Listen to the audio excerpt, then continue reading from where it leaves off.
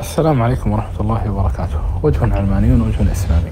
هناك أطروحات يطرحها اللادينيون والعلمانيون فإذا طرحوها رد عليهم الناس. ثم نجد أناسا يطرحون نفس هذه الأطروحات في خلافيات أهل الإسلام فيما بينهم مهما عظمت هذه الخلافيات. ثم لا تجد الرد نفسه حاضرا مع أنك لو تأملت تجد ما رددنا به على العلمانيين يرد على هؤلاء ويرد عليهم. فعلى سبيل المثال قول العلماني أو اللاديني أنتم تحتكرون الحقيقة وأنتم تزعمون أن الحق معكم أنتم فقط وأن كل هؤلاء الناس على باطل أنتم فقط الذين على حق وهذا غرور منكم وتطرف وهل ستجبرون الناس على دينكم أنتم لوحدكم؟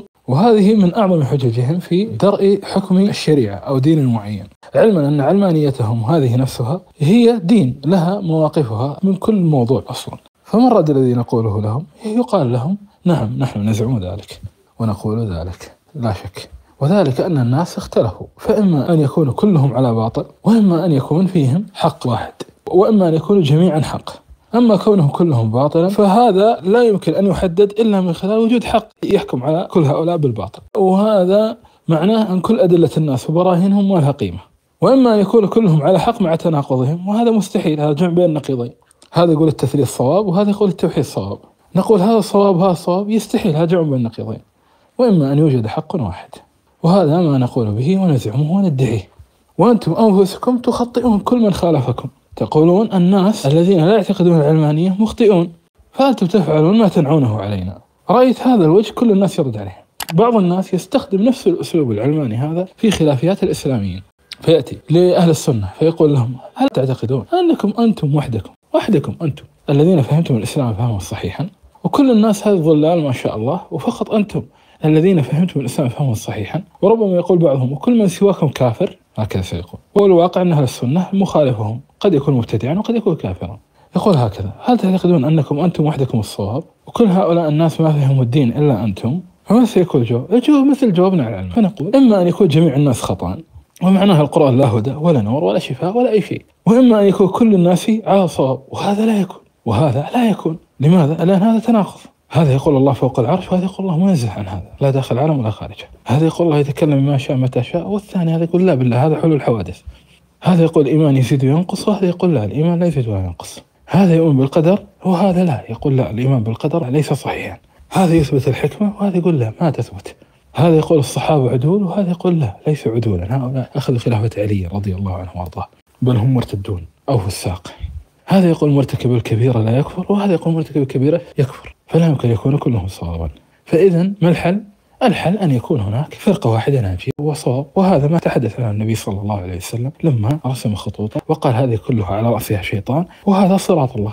هناك صراط واحد اهدنا الصراط المستقيم. ومثل حديث الفرقة الناجية وحديث الطائف المنصور والأحاديث الكثيرة هذه. رأيتم بارك الله فيكم؟ فهو نفس الإشكال. أعيد صياغته فمن الناس من يرد على العلمانيين ويفحمهم. ثم إذا جاء للإنسان الآخر الذي يتحدث عن فرقة يزعمون أنهم وحدهم الناجون يستخدم نفس الأسلوب العلماني هذا فهو نفس الإشكال. أعيد صياغته يقال له أنت أصلا تزعم أنك صواب في خلافيات الناس. فتقول أنا أذم الأشعري المتعصب والسلف المتعصب والكذا المتعصب إذا أنت معك حق وحقك هذا عليه أدلة. فأنت تزعم أنك وحدك من فهم القرآن والسنة فهما صحيحا بينما هناك آخرون فهموه فهما غالطا وحملوه ما لا يحتمل. فأنت أصلا تقع فيما تنعه على الناس. أيضا هناك وجه علماني يقول أنتم ماذا قدمتم للبشرية؟ ويقصد ماذا قدمتم من إنجازات ملموسة محسوسة؟ اختراعات إنجازات اقتصادية سياسية اجتماعية إلى غير ذلك. فالإنسان المسلم منهم من يجيب جوابا يقول نحن عندنا المخترع الفلاني وعندنا الكذا الفلاني وعندنا الكذا الفلاني. وأما الإنسان المسلم المعتز بدينه الفاهم فيقول له لا شك أن شريعة الله عز وجل فيها من الخير ما لا يوجد في غير الشريعة. لا شك. ولكن يكفينا أننا أخرجنا العباد من عبادة العباد لعبادة رب العباد وأخذناهم إلى جنان الخلد وهذا أعظم إنجاز. ودعوناهم لذلك استجابوا أم لم يستجيبوا؟ فنحن نعتقد أن الأنبياء هم أفضل الناس والأنبياء ما كانوا أطباء ولا مهندسين ولا علماء كيمياء ولا علماء فيزياء ولا غيره كانوا علماء بالوحي. فنحن نعتقد أن الغاية من الخلق عبادة الله عز وجل وأن كل ما تذكرونه من أمور الطب والهندسة وغير ذلك هذه كلها وسائل والوسائل هذه إذا غرق الإنسان فيها ضاع فهي وسائل وليست غاية. فنحن لسنا في سباق نبحث فيه من فينا يخدم البشر أكثر من غيره. وإنما نحن في سباق من فينا يصل إلى الله عز وجل. الأمر هذا يشبه مباراة كرة قدم. مباراة كرة القدم هذه فيها أهداف. مهما كان أداؤك جيدا في اللعبة لن يفيدك ما لم يثمر هذا الأداء أهدافا تسجل. وكذلك كل ما تراه من تطور وحضارة غير ذلك إذا لم توصلك إلى الله لم توصلك إلى الجنة فليست بشيء. فليست بشيء. هذا جوابنا على العلماء. يستحسنه عموم الناس. لكن من الناس من يأتي؟ إذا رأى بعض الناس ينكرون على أهل البدع. فيقول أنتم ماذا قدمتم للإسلام؟ بعضهم يقول أنتم ماذا قدمتم لفلسطين؟ بعضهم يقول أنتم ماذا قدمتم ل... ويقصد بالتقديم الأمور آه، السياسية والاقتصادية والاجتماعية وغير ذلك. ولا شك أن أهل الحديث لهم قصب السبق في كل شيء. وصنعوا ما صنعوا من الخير العظيم في أمة محمد صلى الله عليه وسلم. لكن الجواب يكون كالجواب السابق. أنا أزعم أن هذه العقيدة هي العقيدة المنجية عند الله عز وجل. وحسبي أن حفظت دين الله عز وجل سالما من البدع والضلالات. سالما من البدع والضلالات. فإذا سلم دين البشر فإذا سلمت دين الناس من البدع والضلالات فلا يهمني أن أكون قد أنجزت شيء فالسلامة لا يعدلها شيء. فلو صنفت ما صنفت مثلا من المؤلفات في الحديث وفي الفقه وغير ذلك إذا كانت عقيدتي فاسدة فقد آه، نلت الدون وتركت الأعلى. وإذا حميت الناس من العقيدة الفاسدة فقد نلت الأعلى وتركت الدون. ولذلك نحن لسنا في مسابقة لخدمة كيان موجود في الدنيا بالاعتبارات السياسية والاقتصادية والاجتماعية. وإنما نحن في مسابقة لنيل رضا الله تبارك وتعالى. الحوض يذاد عنه الناس بالإحداث إحداث في دين الله عز وجل الإحداث في العقيدة في أسماء وصفاته في الإيمان في القدر في مبحث الصحابة في العبادات في غير ذلك. فمن سلم من هذه القضايا فهذا على خير. فالإنسان الذي يذهب إلى الحوض مسلما خير له من إنسان تضمخ بالبدع وإن فعل ما فعل. وأيضا مثلا يأتي إنسان يقول يا أخي والله الشيعة قدموا أو فعلوا. طيب قدموا قدموا معه شركا. وأهل الضلال وأهل الباطل ما يفعلون من خير إلا ويجعلونه وسيلة إلى شرهم. إلا ويجعلونه وسيلة إلى شرهم. بخلاف أهل الحق فإن أهل الحق ولو ظهر فيهم ضرر على الناس فإنه إلى الخير. النبي صلى الله عليه وسلم يقول عجبت لأقوام من أمتي يقادون إلى الجنة بالسلاسل. يعني يؤسرون يأسرهم أهل الإسلام. فمع هذا الأثر الذي يظهر فيه أعظم الذل الذي قد يصيب إنسان أن يكون أسيرا في حرب. بعدها ما الذي يحصل له؟ يحصل أنه ربما يسمع الإسلام فيدخل قلبه فينجو وكثير منهم يتحرر ويعتق فيكون له خير وما يحب أنه لو لم يؤثر. فالأمر لا ينظر إليه بالصورة الآنية فحسب. فهذا أيضا اعتراض مشهور وجوابه هنا كجوابه هناك. جوابه هنا كجوابه هناك. أيضا عندنا بارك الله فيكم اعتراض مشهور وهو الحديث عن عوام اليهود وعوام النصارى الذين ما بلغهم الدين ولا بلغهم كذا. والحديث عن أي إنسان عامي وكأن هذا الإنسان العامي لا عقل له.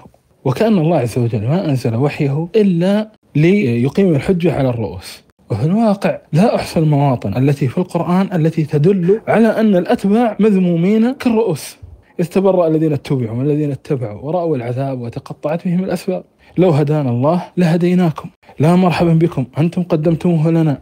إلى غير ذلك من الآيات اللي ذكر فيها تخاصم أهل النار. السادة والأتباع. وأنهم دعوهم فاستجابوا لهم أو أغووهم وغير ذلك. فاليوم كثير من الناس عنده الأصل في الإنسان الذي لا يعتبر من كبار العلماء أو من كبار كذا أنه إنسان مسكين جاهل مرفوع عنه القلم. والقرآن نفى هذا أعظم النفي نعم قد يوجد إنسان في سياق معين قد يعذر في سياق معين محدود مقيد. لكن الأصل بعد نزول الوحي أن البشر آه، رؤوسهم ومقلدوهم حجة الله إما بلغتهم وإما أمكنت البلوغ وأعرضوا. لهذا القرآن رحمة للعالمين. وأن حجة الله مفهومة وأن الإنسان عنده فطرة وعنده عقل. اليوم الكثير من الناس يتصور أو يتخيل أن الشبهات لا تأتي إلا على دين الإسلام على الدين الحق. يا أخوة ما من باطل من البواطيل التي يعتقدها البشر سواء الإلحاد أو العلمانية أو التثليث أو غير ذلك. إلا وهذا الباطل ترد عليه إيرادات أنت تظن أن الوسواس والإعتراضات تأتيك أنت فقط؟ هو أيضا تأتيه اعتراضات. هو أيضا. لماذا لا يسأل نفسه كيف إله يقتل؟ كيف نحن هنا بلا غاية؟ وجئنا من لا شيء. كيف كذا؟ كيف كذا؟ كيف كذا؟ كلها أمور مزعجة أشد الإزعاج أصلا، فلماذا لا يتدبر؟ لماذا لا يحرك عقله؟ والله عز وجل قال: ولقد يسرنا القرآن للذكر فهل من مدكر. فكثير من الناس إذا تكلم عن الكفار يصور لك أن الكافر لا تقوم عليه الحجة حتى تقرأ عليه كتابا ضخما في براهين النبوة. فبهذا تقوم عليه الحجة. وهذا القول وإن كان هو حقيقة حديث كثير من الناس إلا أنه ما قال به أحد وهو جاف للنصوص أشد الجفاء وجاف لأحوال أهل الإسلام. في ناس في الخلافيات اللي بين الناس اللي من أهل الملة هكذا يتصور. يتصور أن المقلدين دائما مساكين. لهذا استشكلوا حديث الافتراق وأن كلها في النار حتى أن بعضهم تأول كلها في النار يعني جزء منها في النار. فعنده أهل الباطل المنتسبين لملة الإسلام هؤلاء المقلدون فيهم مساكين ما يعرفون شيء. النبي صلى الله عليه وسلم يقول تركتكم على البيضاء ليلها كنهارها لا يزيغ عنها إلا هالك ليلها كنهارها. الليل كالنهار هذا ما هو خاص بالرؤوس فحسب بل بالرؤوس والذيول. الناس كلهم يرون إلا قلة قليلة. فجعلوا الأصل في الأتباع والمقلدين أنهم معذورون. ثم بعد ذلك انتقل الأمر حتى إلى العلماء وغير ذلك. فجعلوا الأصل في الأتباع والمقلدين أنهم معذورون. سواء وقعوا في البدع المكفرة أو في البدع المفسقة العظمى. ولذلك رأوا أن البحث العقدي ما منه فائدة وأن الإنسان إذا خالف الحق فالأصل أنه خالف الحق لغموض الحق. ما هو الأصل فيه أنه خالف الحق لكبر فيه أو لتقليد أو لإعراض أو لعناد. لا. بعضهم يقول هذا في الكفار الأصليين وبعضهم يقوله في المخالفين المنتسبين لملة الإسلام. وفي الواقع أن الأصل في المخالفين في القضايا الكبرى غير هذا. الأصل الأصل وضوح البيان. ومن الناس من إذا جاء مثلا يصنف المنتسبين للأديان تراه ينظر إلى الفئات التي يراها متعصبة فيذمها. ويأتي إلى من يراهم معتدلين يعني أقرب إلى العلمانية فيجعلهم هم المتدينين الصحيح. وهذا الآن بعض الناس في خلافيات أهل الملة تراه يأتي إلى اثنين على عقيدة واحدة فينظر من فيهم يقارب نظرته التمييعية أو من يقارب نظرته الحركية أو من يقارب نظرته التي ترى خلافيات العقدية أمرها هين فيجعله جيدا. و... والثاني يخسف به فهو لا يحاكم الناس بناء على موقفهم من النصوص وعلى عقائدهم بل يحاكمهم باعتبار الموقف المصلحي.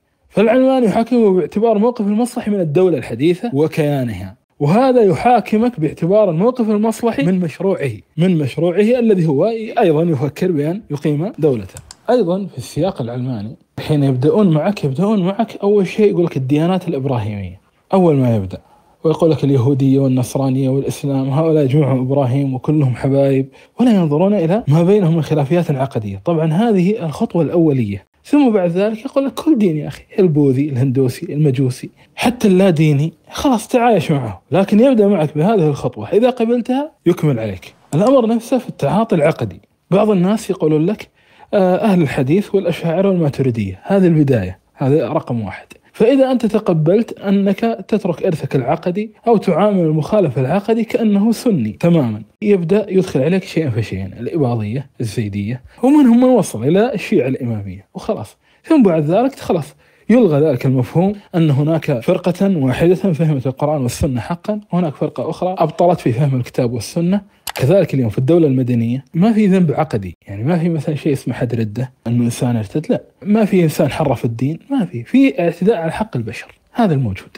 الاعتداء على حق البشر. سرقت إنسانا بهت إنسانا قتلت إنسانا اغتصبت أما الزنا بالتراضي ما في مشكلة. زنيت مع قاصر هذا الخطأ. هذا وفق المفهوم العلماني. اليوم كثير من الناس في خلافيات أهل الملة. أنت اعتقدت الله فوق العرش؟ الله ليس فوق العرش ما يهم.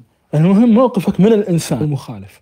احترمت علماء المخالفين ولا ما احترمتهم؟ هذا المهم. أنت إذا قلت عقيدة غير صحيحة ولكنك أخطأت لا مشكلة. نقول أخطأ. قلت عقيدة غير صحيحة أخطأت فيها ولكن كنت محترم مع المخالفين؟ لا بأس. كما أنه في السياقات العلمانية عادي أنت لك رأي. أنت لك رأيك ولي رأيي. لكن إن أسأت لي بشكل شخصي أثناء تعبيرك عن رأيك هنا تبدأ الإدانة. نفس الشيء بعض الناس في خلافيات أهل الملة خلافيات اللي لها قرون والمختلفون. من عموم العلماء يقولون هذا كفر وإسلام أو هذا بدعة وسنة. أنت أصلا إذا جيت وقلت الخلافيات في هذه المسائل أمرها هين وسهل. أنت تطعن في العلماء طعن في كل العلماء من كل الفرقاء. لماذا؟ لأن هؤلاء كلهم قالوا أنها خلافيات عظيمة. جئت أنت قلت بلسان الحال أو بلسان المقال لا هي ليست خلافيات عظيمة هي خلافيات هينة. الإشكالية في أدبك مع المخالف فقط. كذلك في السياق العلماني يقول لك الإشكالية فقط في أدبك مع المختلف معك في الرأي. أي فكرة ما عندنا مشكلة معها. إلا إذا كانت هذه الفكرة تتطور لأن تصير شيئا فيه اعتداء على المخالف. هنا سنحارب الفكرة. أما فكرة ما فيها أي ضرر على أحد لا مشكلة، لهذا مثلا يقول واحد فكرة المثلية أنا أتقبلها، ما أنا أتقبلها أنا ما عندي مشكلة، لكن أنا عندي مشكلة مع فكرة فيها قتل تارك الصلاه، لا هذا ما هو مقبول. بعض الناس نفس القصة، يقول لك أنا المخالف العقدي دعك منه أنا ما ما عندي مشكلة. خلاص ما دام يمشي معي مشتركات الاشياء اللي به؟ هو يدعو لعقيدته من عندي وأنا أدعو لعقيدتي من عندي وما نصطدم بل بالعكس نكون حبايب. لكن إن وصل إلى مستوى أنه يحرض علي أو ينال مني أو يسيء أو كذا أو كذا أنا هنا سيكون لي موقف. إن أحسست أن فكرته هذه ستؤدي إلى تكدير السلم العام أنا هنا سأحارب هذه الفكرة بكل ما أوتيت من قوة. العقيدة هي هي. تجد عقيدتين كلاهما بعيدة عن الكتاب والسنة. مخالفة لمعلومة الدين بالطرع خالفة السلف. هذه مسكوت عنها وهذه مهجوم عليها لأن هذه تكدر السلم العام وهذه كذا وكذا وكذا. وفي الواقع أن قضايا الاعتقاد النظر فيها ينبغي أن يكون باعتبار موضوع الجنة والنار. فكم من إنسان ممكن قديما يعيش في الدولة الإسلامية ويساهم في الفتوحات يكون من أهل الذمة ورايح إلى نار جهنم. وممكن إنسان يكون كدر السلم العام خارجي مثلا وممكن بعضهم خارجي ما يخرج يكون قاعدي كدر السلم العام وحصل بيننا وبينه شيء هذا ممكن يموت نصلي عليه وهو نعتقد إنه رايح الجنة على بدعته وعلى ضلالته وممكن إنسان قتل مسلما أو سرق مسلما ويبقى هو مسلم يعاقب بقدره ولكن في النهاية نعتقد أنه أقرب إلينا من ذاك الملتزم بقوانين الدولة ونظمها ولكنه كافر. ونحن ندعو هذا وندعو هذا. ولو اسلم على يدك مسلم أو يهودي أو نصراني أو حتى تاب منحرف من ضلالته ترجو عند الله أكثر مما ترجو إذا ما بعض الناس الذين عندهم ذنوب تابوا على يدك. ولذلك مثلا في عقائد هذه العقائد ما تكدر شيء يعني مثل عقيدة القدرية أنهم يقولون الله لا يعلم بالأشياء قبل وقوعها. أو مثلا عقيدة الجهمية في الإيمان بالذات أنهم لا يشترطون التلفظ بالشهادتين يقولون الإيمان التصديق. هذا هذا النوع من العقائد ممكن كثير من الناس يشوفون ما في مشكلة ما في ضرر على الناس عند أهل العلم هذه العقائد شر من قول الخوارج. وكفر. فانظر إلى الفارق